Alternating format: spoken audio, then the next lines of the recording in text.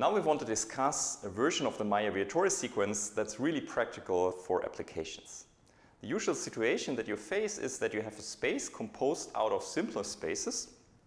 You know the absolute homologies of the simpler spaces, and you want to compute the homology of the total space. So the situation that you normally face is not that you have uh, necessarily an excisive triad, but that you have a space that you glue together out of simpler pieces.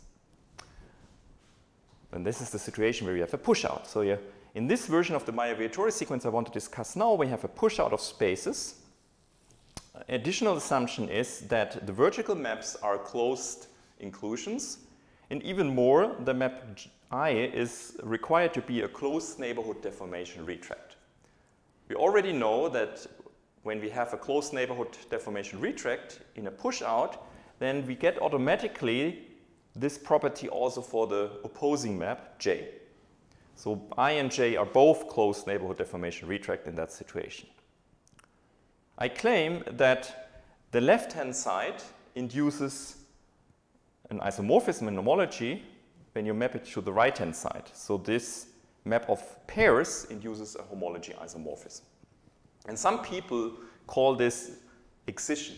So they basically um, take this as the excision axiom. In our situation, it's a consequence of the excision axiom of the Eilenberg-Steenrod in the Eilenberg-Steenrod uh, formulation plus the long exact sequence, um, but this is really at the heart of excision, this homology isomorphism. And we get a long exact sequence, which uh, looks very similar to the Mayer-Vietoris sequence for an excisive triad. So in the situation where this map F is not just any map, but it's also closed inclusion, therefore all the maps in this push-out diagram are inclusions of closed subspaces. In that situation, this condition here of being a homology isomorphism is exactly the condition of being an excisive triad. So what's the excisive triad in this situation? Well, it's the triad Z with the subspaces X and Y. Because if F is also an inclusion map, then A is just the intersection of X and Y. And this condition is really the excisiveness of this triad. And then we can conclude this long exact sequence from the Mayer-Vietoris sequence we had before. But now we are in a slightly more general situation. We really have this push out, so F is not necessarily injective, it's just any continuous map. And still, this uh, holds true. Suppose we already have proven the first fact, that this is a homology isomorphism. Then the proof of this long exact sequence is really the same as for the Mayer-Vietoris sequence of an excisive triad. So there we looked at triple sequences, which was only necessary because we wanted to prove a relative version. Here we're talking about an absolute version, so we would look at um, repeating the proof, the previous proof, we would look at two pair sequences, namely the pairs xa and z comma y.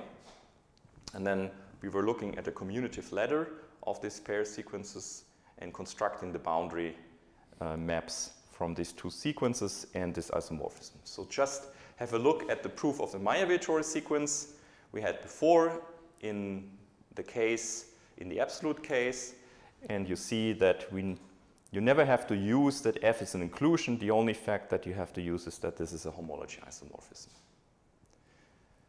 So therefore, to complete the proof of the whole statement, what's left for us is to show that this is indeed a homology isomorphism under these conditions.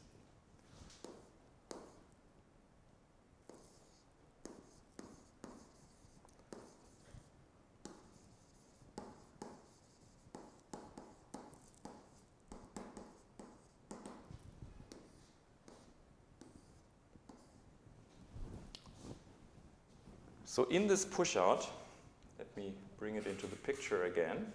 It's a general fact that if you form the quotients of x mod A and z mod Y, you still get an induced map by f bar and f. And this map is a homeomorphism.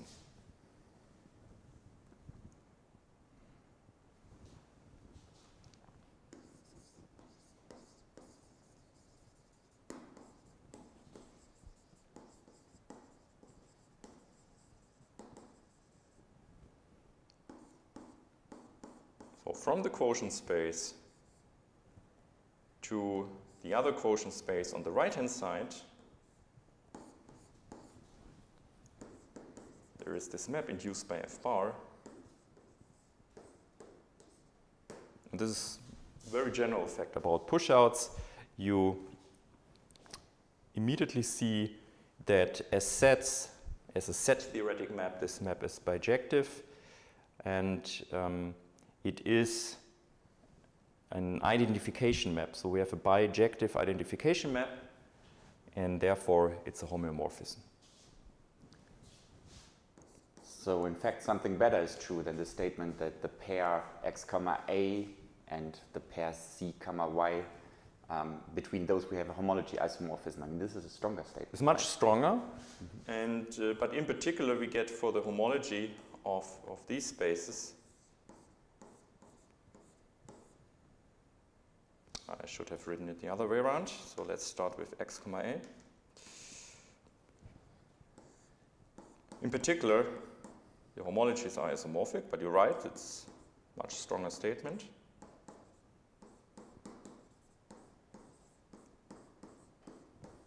We might also put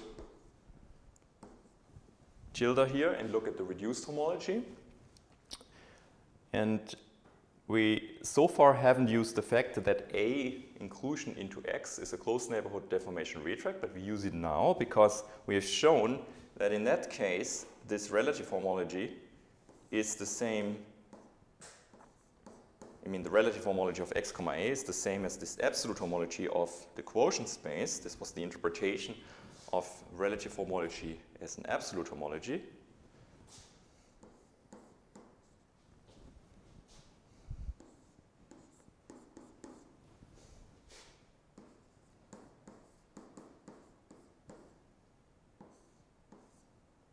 This is this map. I might also just write f bar star. And this isomorphism was, the, the vertical isomorphism was induced by the collapse map. So this whole thing commutes and we obtain that the map here, the map we wanted to look at, is indeed an isomorphism. Maybe another color. and this concludes at least the proof of the homology isomorphism and as I explained you now can copy the proof in the previous video for the Mayer-Vietoris sequence.